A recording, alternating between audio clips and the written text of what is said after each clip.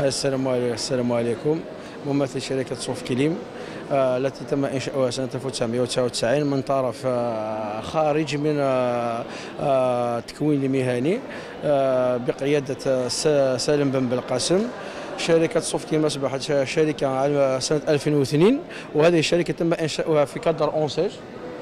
تحت اسم RC ثم ومن بعد أصبحت شركة في 2002 وإحنا إحنا اليوم رانا شركة نساهم بصفة مباشرة في تكوين في تكوين الشباب ونوصي الشباب تاعنا بالتوجه إلى التكوين المهني.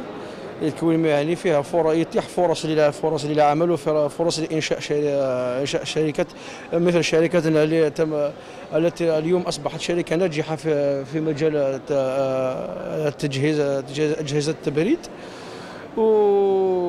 وثاني نحكي لكم عندنا شوية نحب اليوم كي جينا فرحنا بهذا الملتقى. وبغينا إن شاء الله إلى السلطات يقدروا يدعموا شركات الشركات الصغيره يدعموا الشركات الصغيرة باش يزيدوا يتطوروا يتطورت الشركات الصغيرة تطور البلد وتطور والسلام عليكم.